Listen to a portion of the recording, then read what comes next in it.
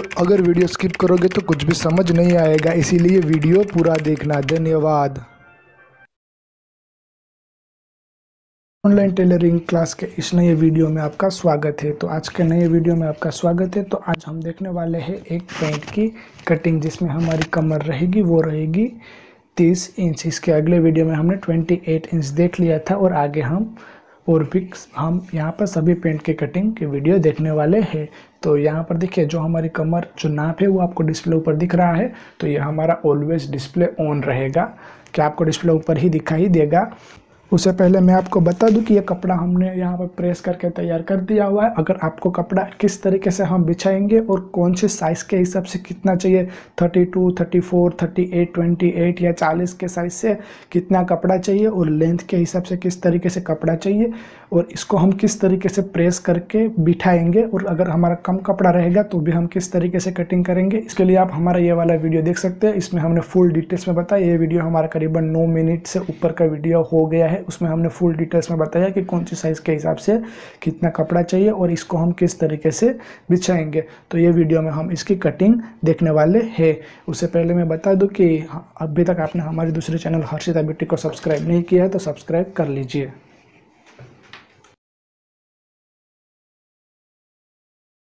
तो यहाँ पर सबसे पहले मैंने ये मार्किंग और ये मार्किंग कर दिया हुआ, ये हमारा आगे का पल्ला और पीछे का पल्ला, हमारा इतना उठ के कटिंग होएगा। तो इस तो हमें इतना एक्स्ट्रा छोड़ देना है। यानी पीछे कपड़ा इतना इतना बाहर रखिए और और आगे आगे का कपड़ा इतना कम रखिए।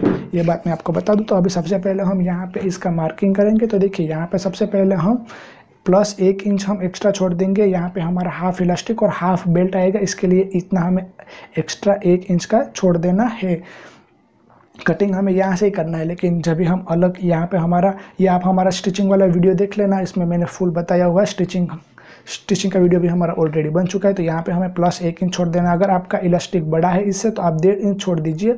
हमारा यहाँ पे सवा इंच का इलास्टिक है तो हम यहाँ पे एक इंच का छोड़ देंगे। और उसके बाद यहाँ पे हम इसका थाई का नाप करेंगे तो इसकी जो हमारी थाई आएगी, वो करीबन आएगी सवा दस इंच पर। और यहाँ पर जो हमारी कमर है, वो है तीस इंच। तो यहाँ पर हमारी आएगी सवा दस इंच पर। उसके बाद हमारा घुटना, घुटने का मार्किंग कस्टमर के हिसाब से होता है। अगर लेंथ ज़्यादा है तो घुटने का मार्किंग नीचे आएगा। लेंथ कम है, छोटी हाइट है तो घुटने का मार्किंग ऊपर आएगा। और यहाँ पे हम इसको, आपकी जितनी भी लेंथ है, उतना रख दीजिए। और उसके बाद सिलाई के लिए एक्स्ट्रा हमें मार्किंग कर देना है। और ये हमारा मार्किंग हो जाने के बाद ये लाइनों को हम मिला लेंगे। इतना हमारा मार्किंग हो जाने के बाद, एक बात मैं आपको बता दूँ कि अगर वीडियो अच्छा लगा हो तो वीडियो को लाइक कर दे और चैनल को सब्सक्राइब भी कर दे। अगर वीडियो अच्छा लगा है तो लाइक ज़रूर कर देना। इतना हमारा ये मार्किंग हो जाने के बाद, अभी हम सबसे पहले यहाँ पे इसकी थाई देखेंगे। देखिए तो इसकी जो हमारी थाई है, वो करीबन है 25 इंच तो और एक बात मैं आपको बता दूँ कि जब हम थाई का नाप लेते हैं तो देखिए यहाँ पे हमारी 25 इंच है। तो यानी हमारे एक साइड के पार्ट हो गए 25 इंच तो उसमें हम हम अलग से तीन उंगल इस तरीके से ज़्यादा रख के ही नाप लेते हैं। तो आप भी ये बात का ख्याल रखें। तो यहाँ पे 25 इंच है तो इसको हमें दो के साथ डिवाइड करना है तो ये हमारा हो जाएगा करीबन साढ़े बारह इंच तो साढ़े बारह इंच को हम यहाँ से देखेंगे और यहाँ पे देखिए, जहाँ पर हमने ये वाला मार्किंग किया है, वहाँ से हम यहाँ पे साढ़े बारह इंच देखेंगे। तो यहाँ पे एक हम मार्किंग कर देंगे। यह वाला मार्किंग हो जाने के बाद यहाँ पे इसको जो साढ़े बारह है, वहाँ पर एक मार्किंग करने के बाद इसको इस तरीके से और एक मार्किंग कर देंगे। ये वाला मार्किंग हो जाने के बाद देखिए, यहाँ से हम इसको नापेंगे। तो ये कन्नी वाला पार्ट में हमारा आ रहा है सात इंच तो देखिए, यहाँ पर भी हम सात इंच पर एक मार्किंग कर देंगे। यहाँ पर भी और यहाँ पर भी हम सात इंच पर मार्किंग कर देंगे। ये वाला मार्किंग हो जाने के बाद अभी सबसे पहले हम यहाँ पे कमर भी देख देख लेते हैं। तो यहाँ पर जो हमारी इसकी कमर है वो 30 इंच है। तो देखिए 30 इंच को हम करेंगे फोर के साथ डिवाइड, क्योंकि यहाँ पर आगे पीछे कमर हमारी चार इंच होने वाला है। यहाँ पे थाई में तो हमारा दो ही होने वाला है, क्योंकि दो आगे और दो पीछे इसके लिए। देखिए, यहाँ पर जो थाई मोहरी में हमें दो के साथ डिवाइड करना है। चार के साथ नहीं, सिर्फ़ कमर में ही हमको फोर के साथ डिवाइड करना है। अभी तक आपने हमारे दूसरे चैनल हर्षिता बीटेक को सब्सक्राइब नहीं किया तो उसकी लिंक डिस्क्रिप्शन में है, आप जाके सब्सक्राइब कर ले। तो यहाँ पे जो इसकी कमर है वो तीस इंच तो तीस इंच को हम फोर के साथ डिवाइड करेंगे तो ये हमारी करीबन आएगी साढ़े सात इंच। तो देखिए, यहाँ से हम इसको इस तरीके से रखेंगे और साढ़े सात इंच पर एक मार्किंग करेंगे। उसके बाद देखिए, यहाँ पे एक टक्स लगने वाला है। तो टक्स के लिए आप एक्स्ट्रा मार्किंग इस तरीके से हम सवा इंच का भी कर सकते हैं और एक इंच का जितना बड़ा टक्स लेंगे, उसके हिसाब से एक मार्किंग कर देंगे और उसके बाद और वापस से एक इंच का और मार्किंग करेंगे, जो यहाँ सिलाई में दबने के बाद थोड़ा कंफर्टेबल रहेगा इसके लिए तो ये वाला मार्किंग हमें देख लेना है। और जब भी हम यहाँ पे थाई का नाप करेंगे तो यहाँ पे साढ़े बारह इंच इसकी हमारी थाई थी तो यहाँ पे हमें इसको सवा इंच इस तरीके से, सवा इंच अंदर की तरफ़ एक मार्किंग कर देना है। ये मैं अभी आपको आगे बता रहा हूँ क्यों क्यों करना है वो। ये हमारा मार्किंग हो जाने के बाद, अभी देखिए, पहले तो मैं लाइनों को मिला लेता हूँ, ताकि आपको समझने में आसानी हो। तो देखिए, यहाँ पे ये सभी एक स्ट्रेट लाइन को हमें इसका बीच का सेंट्रल लेना है। अभी देखिए, ये हमें ये नहीं देखना, बल्कि ये देखना है और देखिए, यहाँ पे हम अभी एक शेप देंगे। अगर अगर वीडियो अच्छा लगा हो तो इसे एक लाइक ज़रूर करें और हम यहाँ से आप हमारे चैनल को सब्सक्राइब भी कर सकते हैं और साथ में बेल आइकन भी दबाएँ ताकि आने वाले वीडियो की नोटिफिकेशन आपको मिलती रहे। एक लाइक ज़रूर। इतना हमारा मार्किंग हो जाने के बाद अभी हम इसका घुटना देखेंगे तो देखिए घुटना इसका हमारा है वो 16 इंच है और वही ये भी हमने इस तरीके से लूजिंग में रख के ही नाप लिया है। इसमें हमने सिर्फ़ दो उंगल का ही लूजिंग दिया है और कस्टमर को पूछा है कि आपको कितना लूज चाहिए। तो यहाँ पे ये यह हमारा 16 इंच है तो इसको हम दो के साथ डिवाइड करेंगे तो ये हमारा आएगा आठ इंच लेकिन यहाँ पर देखिए, यहाँ पर जो हमारा आठ इंच आएगा, वो किस तरीके से आएगा तो देखिए चार इंच यहाँ पर और चार इंच यहाँ पर तो ये हमारा हो जाएगा आठ इंच। तो देखिए यहाँ पे इस तरीके से तो ये हमारा यहाँ पर भी है, चार इंच आएगा। और वही सेम प्रोसेस से हमें मोहरी का मार्किंग करना है। इसकी मोहरी है, वो है बारह इंच। तो देखिए बारह का आधा होता है छः इंच। तो तीन इंच यहाँ पर आएगा और तीन इंच यहाँ पे, यानी ये हो जाएगा हमारा छः इंच।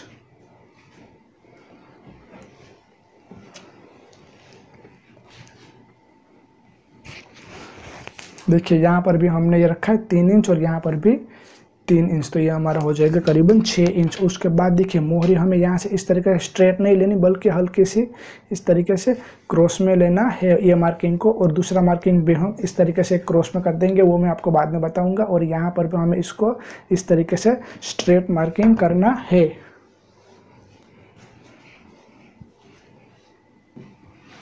तो ये वाला इतना हमारा मार्किंग हो जाने के बाद देखिए, ये लाइन को हम सेप पट्टी की मदद से मिला लेंगे।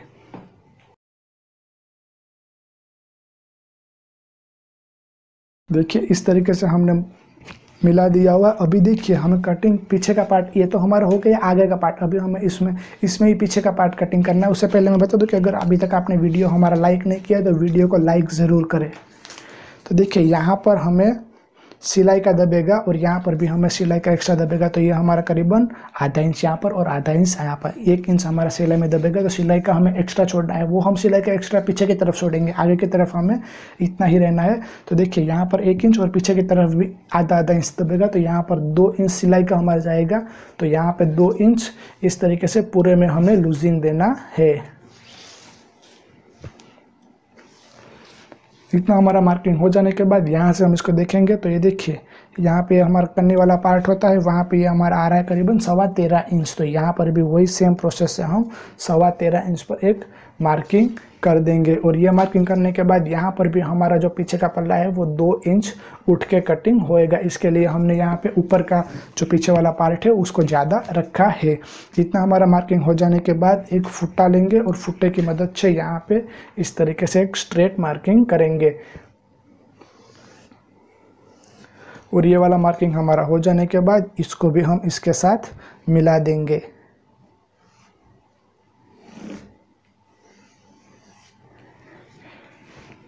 और यहाँ पर भी हम शेप देंगे गोलाई में। और यहाँ पर भी शेप पट्टी की मदद से हम ये लाइनों को भी मिला देना है।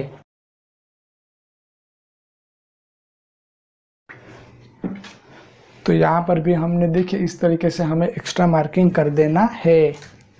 और ये वाला इतना हमारा हो जाने के बाद अभी हम इसे कटिंग करने के लिए तैयार है, लेकिन कटिंग किस तरीके से करेंगे वो पहले यहाँ पर आप कुछ भी मिस्टेक मत करना। पहले मैं जो जैसे बोलता हूँ, वैसे आप समझ लीजिए। अगर आपका कम कपड़ा रहेगा तो भी हमारा जो कटिंग करने का स्टाइल है, वो ऐसे ही रहेगा जो हम मार्किंग लगाते हैं। ये एकदम सीधा और सरल तरीका है। सेंटर लगा देना है और फिर मैंने जैसे आपको कहा, वैसे ही कटिंग लेकिन कटिंग हम किस तरीके से करेंगे, वो मैं सबसे पहले आपको बता देता हूँ। तो देखिए, यहाँ से सबसे पहले हम यहाँ से और यहाँ तक इस तरीके से पीछे वाला पार्ट हम कटिंग कर देंगे। तो ये तो हो गया हमारा पीछे वाला पार्ट और फिर हमारा जो पीछे वाला पार्ट है, ये वाला पार्ट है, उसको हम हटा देंगे और उसके बाद देखिए, इसको यहाँ से और यहाँ से और फिर यहाँ से कटिंग कर देंगे और ये तो हमारा पहले से ही कटिंग हो गया और फिर ये हम इसको सिलने के लिए तैयार है। तो देखिए, यहाँ पे हम साइड पॉकेट भी लगा सकते हैं। तो साइड पॉकेट वाला भी हमारा वीडियो बन चुका है और इसको हम स्टिच कैसे करेंगे?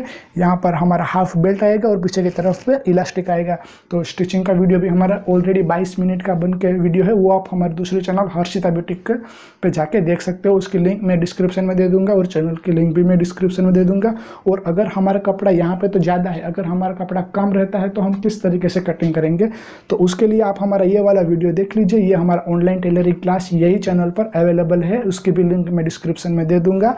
वहाँ जाके आप कौन से साइज़ पर कितना कपड़ा चाहिए और उसे किस तरीके से कटिंग करेंगे। तो वो आप ज़रूर देख लेना। तो आज के लिए बस इतना ही। मिलते एक नेक्स्ट वीडियो में। तब तक के लिए बाय